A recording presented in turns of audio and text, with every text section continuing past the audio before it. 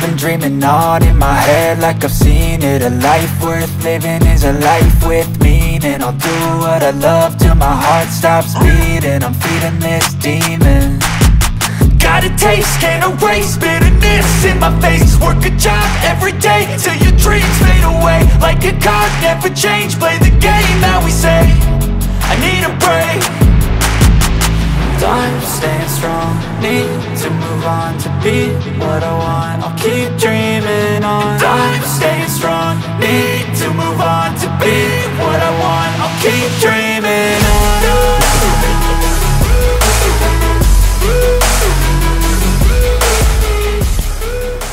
Ja, hallo Freunde, ich befinde mich heute hier im Technikmuseum Sinsheim. Ich bin schon gefühlte 40, 50 Mal dran vorbeigefahren und jedes Mal war ich entweder zu müde oder aber ich hatte irgendwie das Bedürfnis nach Hause zu fahren. Und heute habe ich mal die Zeit genutzt, bin heute hundefrei ähm, und bin nach Sinsheim gefahren und werde mir dieses wunderbare Museum anschauen. Und ich nehme euch natürlich mit und jetzt zeige ich euch mal ganz kurz, was man bereits auf dem Parkplatz schon sehen kann. Ich drehe mal die Kamera. Also hier sieht man, ich denke, das ist ein Feuerlöschflugzeug.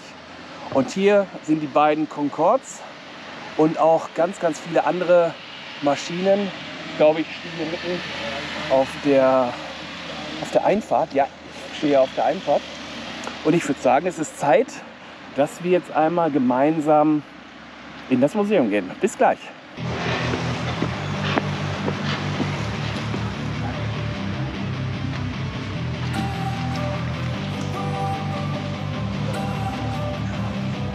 To Schauen wir uns einmal um. Da ist die Kasse. Ein Mitteldecker, ganz frühe Zeit. Und Preis ist heute ein Tagespass fürs Museum. Das reicht mir für 15 Euro für Kinder und für Erwachsene 19 Euro. Also knappe 20 Euro. Aber ist natürlich schon Geld. Aber das wird es auf jeden Fall wert sein. Alleine die Exponate, die draußen stehen, mega krass. Ja, zahlen wir mal, ne? So, ich habe jetzt mein Ticket. 19 Euro habe ich bezahlt und heute gab es ein kostenfreies Red Bull dazu. An dieser, keine, an dieser Stelle keine Schleichwerbung. Ähm, und da vorne müsste eigentlich auch der Eingang sein. Wir schauen uns das mal an. So, Fanpass. Ich bin auf jeden Fall schon Fan. Hunde dürfen leider nicht mit. Und ja, hat funktioniert. Gehen wir mal rein. Cool. So. Also hier vorne finden wir Drag Cars. Habe ich auch in Natura noch nie gesehen.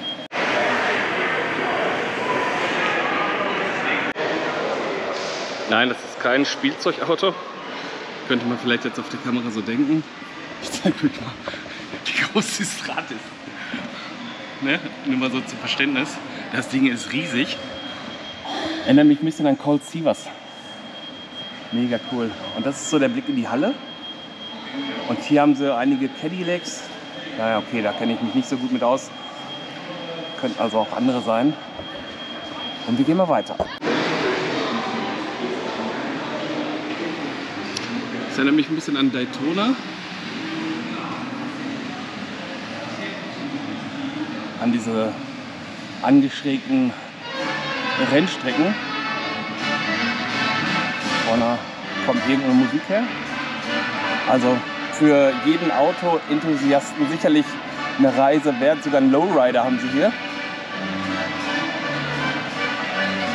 Spannend. Dann diese alten amerikanischen Autos. Boah, das ist. Oh, ich kann ja nicht einfach schwenken, weil ihr natürlich jetzt erwartet, dass ich die Autos weiter zeige, aber das ist schon extrem spannend. Da oben ist eine alte Lok, die werden wir uns anschauen und da gehen wir jetzt mal hin. So, wir sind angekommen in dem Bereich, der mich natürlich mit am meisten interessiert. Ihr kennt meinen Kanal, der heißt Schlachtfeldbegehung. Es geht also hier sehr stark um die Schlachtfelder des Ersten und des Zweiten Weltkrieges. Und hier wurde ein Diorama aufgebaut aus der Zeit des Zweiten Weltkrieges Und das Schlachtfeld wird wahrscheinlich Afrika gewesen sein. Wir schauen uns das mal an. Sehr stark nach Afrika. Marokko könnte es natürlich auch sein.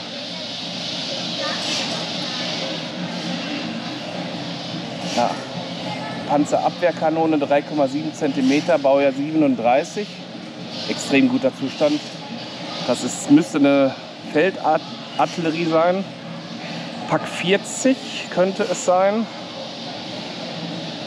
Ja, Pack 40, Ausführung 43. Die hat wirklich alles durchschlagen. Und da vorne könnte ein Jagdpanzer sein. Welcher genau weiß ich nicht, aber es wird um. Das habe ich auch noch nicht gesehen. Extrem selten in dieser Ausführung. Das ist ein leichter Zugkraftwagen SD Kfz 10 Kettenkrat. Unbezahlbar heute. Wow. Ich hätte nicht gedacht, dass der so riesig ist. Das Spannende hier, einmal die 2 cm Flak und hinten hatte man zwei Zwillings-MGs. Auch wahrscheinlich für die Flugabwehr, aber auch für die Nahverteidigung. Und hier haben wir ein Sturmgeschütz 3. 300 PS, 40 km/h Spitze, 4 Mann Besatzung und eine 7,5 cm Kanone.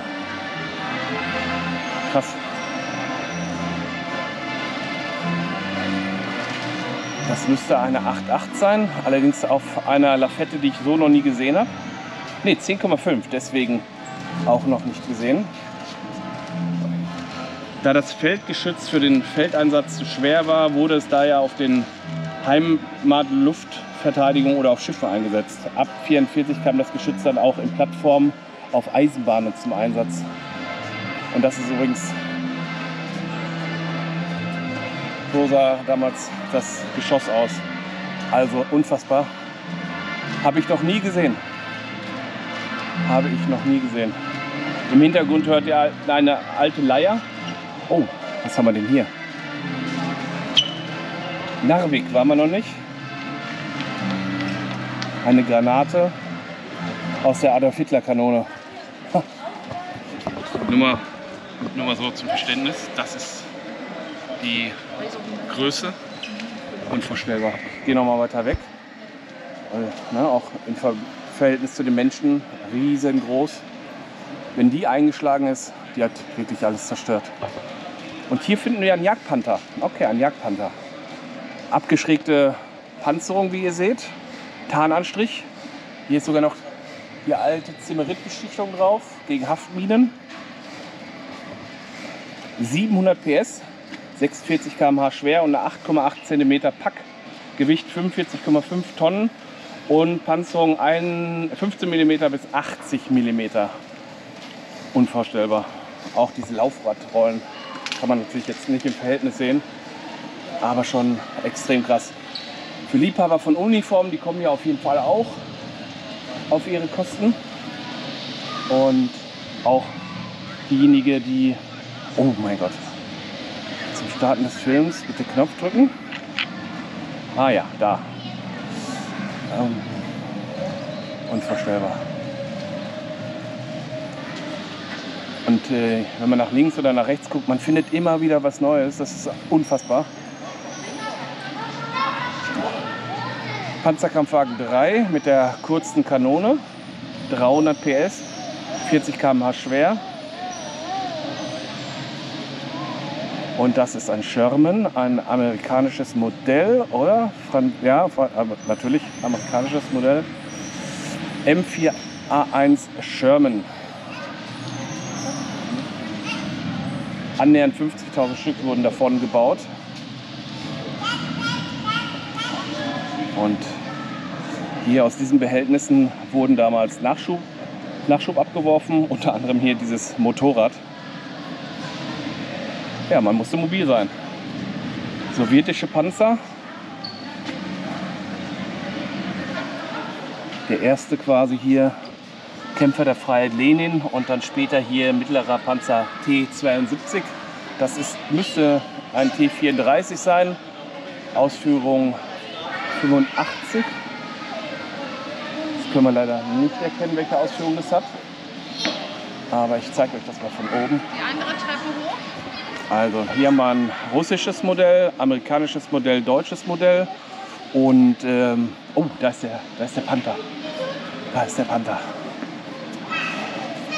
Wow. Seht ihr mal, wie so ein Panther von innen aussieht. Das ist schon ein Highlight. Getriebe.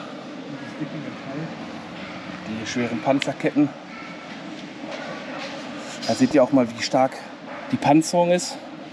Und aufgrund der Schräge hatte die Granate zwei Herausforderungen. Einmal musste sie natürlich erstmal Halt finden auf der geschrägten Panzerung. Die sind häufig nach oben dann weggegangen. Oder aber, ähm, wenn sie dann in den Stahl eingedrungen ist, hatte sie aufgrund der Schräge eine höhere Distanz zu überwinden. Und ich zeige euch mal, Wie groß das Ding ist. Also keine Chance, da irgendwie droben dran zu kommen. ein riesengroßes Teil. Zimmeritbeschichtung sieht man auch noch. Ich meine, man konnte hier irgendwelche Knöpfe bedienen. Ich lese euch mal ein paar Daten vor. Baujahr 42 bis 45, 700 PS, auch viel zu wenig. 46 km/h auf der Straße, 7,5 cm Kanone und drei 7,92 mm Maschinengewehre. Also ein riesiges Ding, riesiger Kampfkoloss und einer der stärksten Panzer, vielleicht sogar der stärkste Panzer aufgrund auch der Mobilität im Zweiten Weltkrieg. Schaut euch einfach mal diese Größe an. Versucht das nochmal drauf zu kriegen. Also das ist sicherlich eins der Highlights hier. Darüber haben wir direkt einen Starfighter. Sind viele abgestürzt damals. Man nannte ihn auch Witwenmacher. Mal schauen, was wir von hinten hier erkennen können. Hier sind noch Tanks, die beiden Auspuffrohre. Und hier haben wir ganz viele Modelle. Jeder, der sich für Modellbau interessiert, kann sicherlich hier auch einiges ergattern und sehen. Genau. Unvorstellbar, oder? Also der scheint einen Treffer abbekommen zu haben, dann vergraben worden zu sein, beziehungsweise übererdet. Und den hat man dann entsprechend gesichert. Und einige Sachen sind auch nicht mehr vorhanden. Die sind dann wahrscheinlich einfach ein paar hundert Meter von der Explosion. Da, ja, hier finden wir so die restlichen Teile. Ist sehr interessant.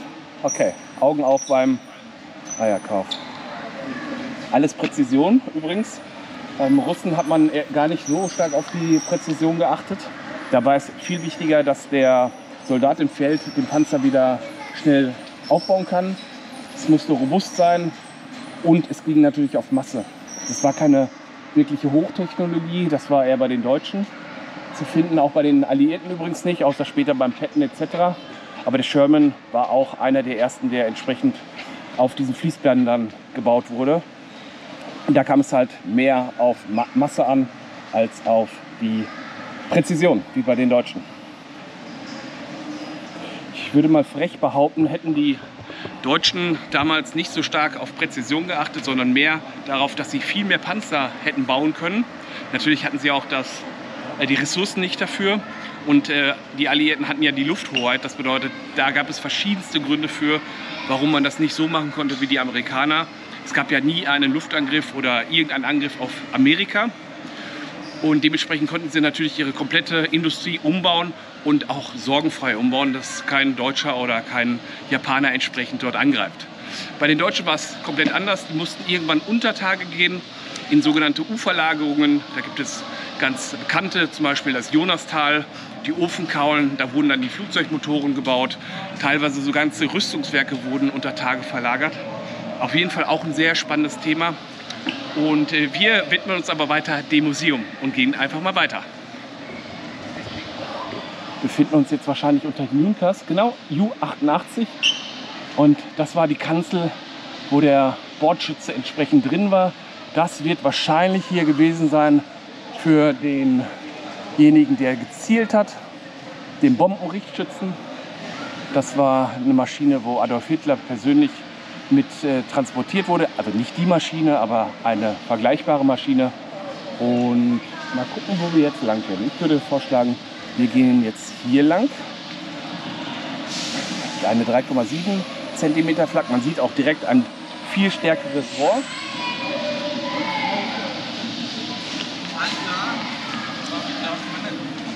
Nachrichten. Das musste natürlich auch kommuniziert werden. Und wir gehen einmal hier hoch, um uns einen Überblick von hier oben zu verschaffen. Und ich habe wahrscheinlich die Hälfte noch gar nicht gesehen. Was haben wir denn hier? Schönes. Scheint auch ein Teil eines Flugzeugs zu sein. Was genau, müsste ich gleich mal unten ablesen. Hauptverbandsplatz übrigens, HVP. Und hier würde ich sagen, haben wir eine PAK 34. Ähm, die war, da haben wir die PAK 40, das könnte die 34, aber genau weiß ich es leider nicht. Und da haben wir nochmal den Jagdpanther.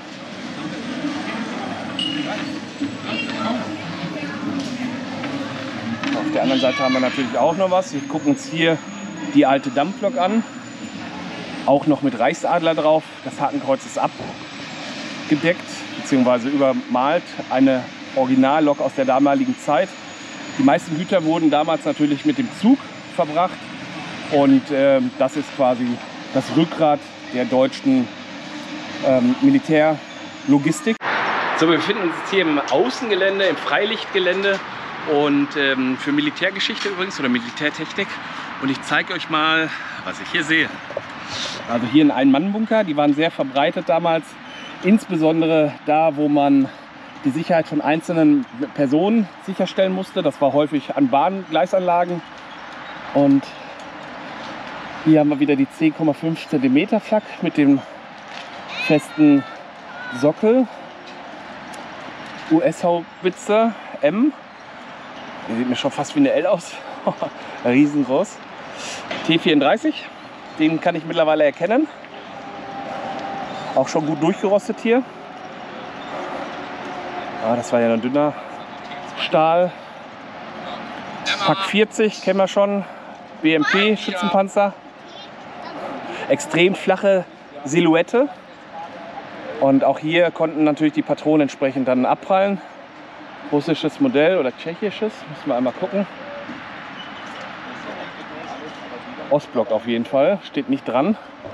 Wurde auf jeden Fall von mehreren Staaten gebaut, das Teil. Unnormal. M40 Long Tom habe ich auch noch nie gesehen. Richtig krass.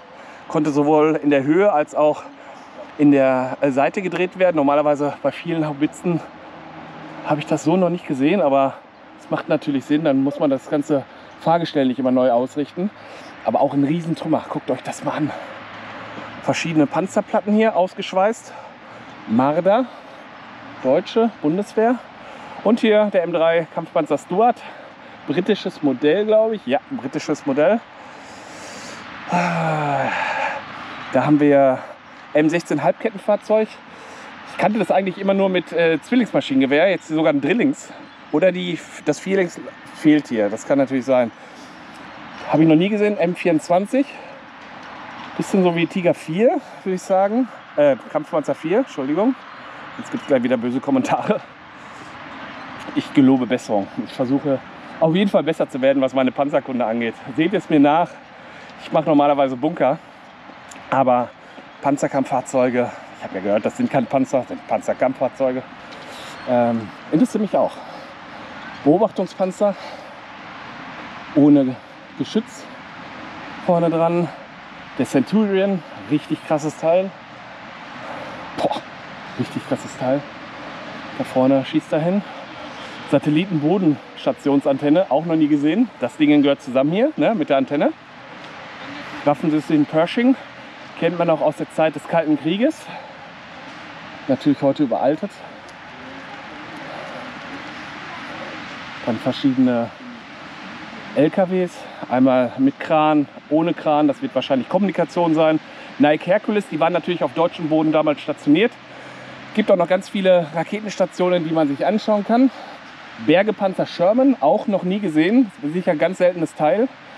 Hotchkiss, süßes Ding irgendwie. Wurde anscheinend noch sehr lange gebaut nach dem Krieg. Und hier ein Schiffsgeschütz. 10,5 wahrscheinlich. Ne, nur 100er, nur 100er. Aber war nah dran, oder? Nicht schlecht. Hier haben wir einmal einen Turm vom M47. Hier wurden Panzerplatten rausgeschnitten, damit man reingucken kann, wie das da drin so aussieht. Da ist die Kanone und alles, was man noch so braucht. Und hier ein Marinegeschütz. 105. Oh, der ist aber nett. Schaut euch mal hier ganz normale Gummireifen und hier haben wir Schaufelreifen dran. Mal gucken, schwerer Spähpanzer. Auch eine relativ flache Silhouette, vorne angeschrägt, damit die Patronen natürlich abplatzen. Bis zu 100 km/h schnell. Und äh, für die äh, Geländefahrt konnten die Stahlräder abgesenkt werden. Ah, okay. Das war also tatsächlich für dann ähm, äh, Waldboden etc. Flakgeschütze, auch sehr interessant, das Ding hier. Äh, russische Zwillingsflak 3,7 cm, 160 bis 180 Schuss die Minute. Das ging schon richtig nach vorne. Entschuldigung, das ist die Hinte. Da, da das ist sie. Äh, hier vorne sind wir bei der Zwillingsflak. Aber steht leider nicht dran. Ich denke, das ist ein deutsches Modell, oder? Das weiß ich leider nicht. Aber französisches, deutsches Modell. Mischung. Wird ein deutsches sein. So, einmal kurz den Blick, was wir uns alle schon angeschaut haben und was wir jetzt gleich noch sehen werden. Ein Leopard, Leopard 1 wahrscheinlich, in einem sehr, sehr, sehr sch schlechten Zustand.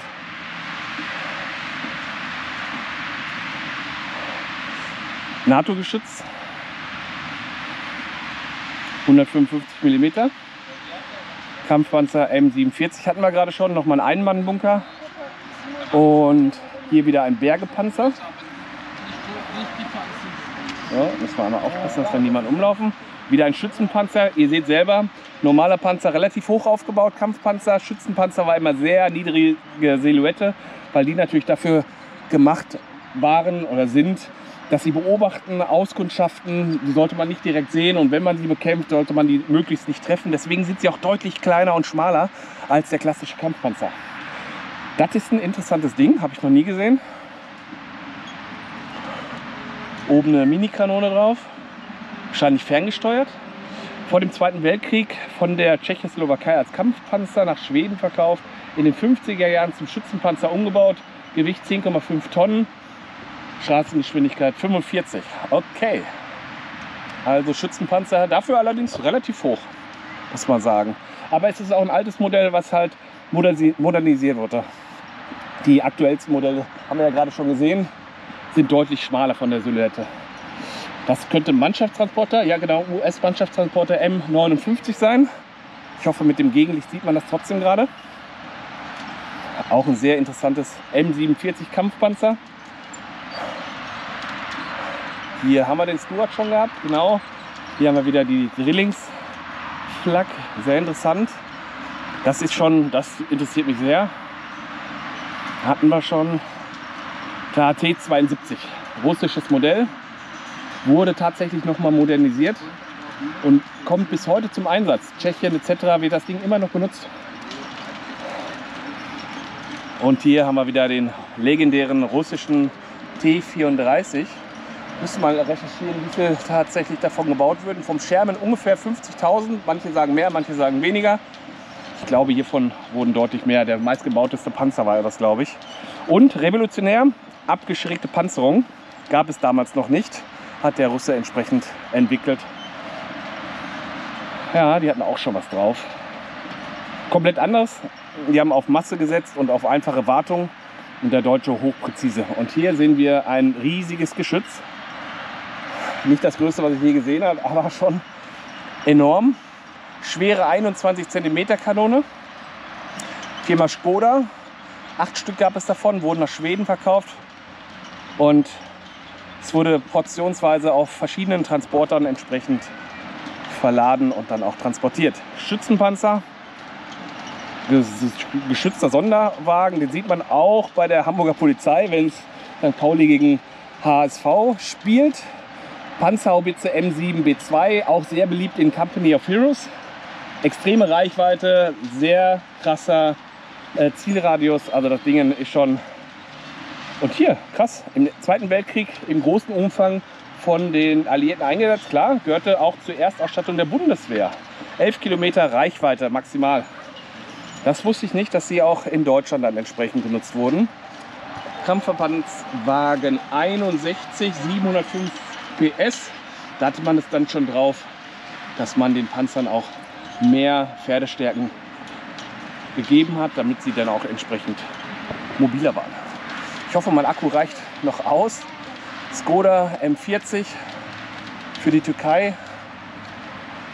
Relativ langer Lauf. Und Panzerhaubitze Wespe, mega klein. Sehr schwache Panzerung.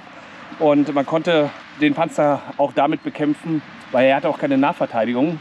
Die Mannschaft war quasi die Nahverteidigung, indem man eine Granate reingeworfen hat. So, was haben wir auf der Seite alles verpasst? T34 wieder, das SU-100 Selbstfahrerlafette, sehr interessantes Panzergefährt. Kennt wahrscheinlich auch jeder, BTR 60, russisches Modell. Und verschiedenste gepanzerte Fahrzeuge. Ich glaube, das lohnt sich nicht wirklich da nochmal zurückzugehen. Das lassen wir auch und gehen weiter und finden hier ein Amphibienfahrzeug, auch immer sehr interessant. In Overloon steht ja ein viel, viel größeres rum. Das hier ist relativ klein. Und mal gucken, was es kann. Brückenübersetzungsfahrzeug. Aha, okay. Also hier konnte dann entsprechende Brücke raus äh, transformiert werden und dann konnten entsprechend die Panzer darüber. So, was haben wir denn noch? Also den, den will ich mir auf jeden Fall noch mal angucken. Ganz seltener Panzer auch. SU-100, auch sehr stark in Company of Heroes. Und ich zeige euch den mal. Mega. Ich hoffe, ihr habt den komplett drauf. Sehr, sehr interessant. Also, Ich würde sagen, bis hierhin schon mal ein mega geiles Museum. Kann ich jedem empfehlen und die 20 Euro bzw. 19 Euro sind es auf jeden Fall wert. Wie gesagt, heute hatte ich Glück, gab noch ein Getränk mit dabei, keine Schleichwerbung. Und ich würde sagen, wir gehen einfach mal weiter und gucken, was es hier noch so gibt.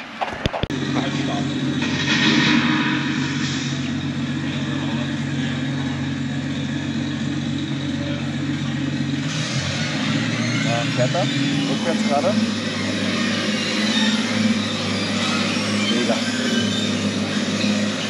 Zeige euch mal ganz kurz, was wir hier noch sehen. Verschiedenste Kampfpanzer. Den Storch, dieser Storch. Sehr stark fokussiert auf den Zweiten Weltkrieg.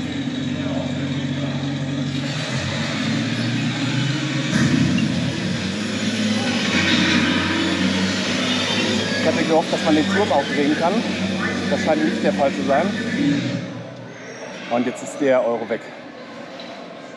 Ihr könnt die Laufketten sehen. Auch wieder ein Feelingsflak. Wir gucken uns den Panther gleich nochmal an, wenn es ein bisschen leerer ist. Hier von hinten. Hier die zwei großen Auspuffrohren.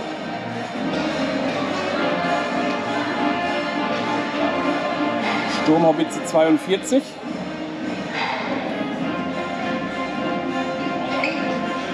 Das ist die Abschusshilfe von einer V1. Dazu müsste man natürlich wissen, was eine V1 ist. Das ist der erste Marschflugkörper, allerdings nicht wirklich intelligent. Und jetzt gucken wir uns nochmal das Bedienfeld an. Funkspruch, Kanone, schweres MG, Einschlag, Kanone hoch und runter hätte man auch machen können, aber haben sie nicht getan gerade. Schade.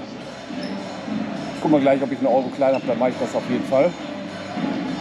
Hier verschiedene weitere deutsche Modelle.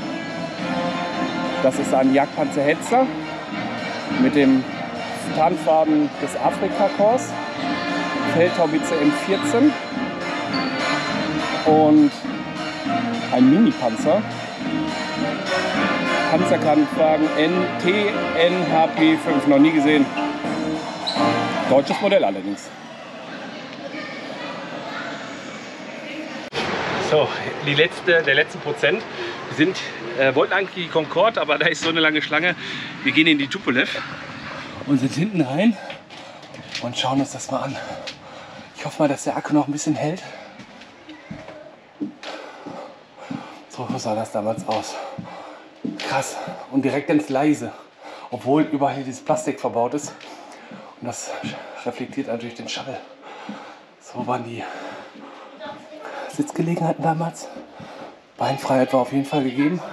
20 Jahren ist die da in der Art So. Bronze mittlerweile, ne? so? Ja. Also ich höre gerade, die Tupolev gefällt vielen besser. So, jetzt auf jeden Fall eilig. Der konnte jetzt nicht warten.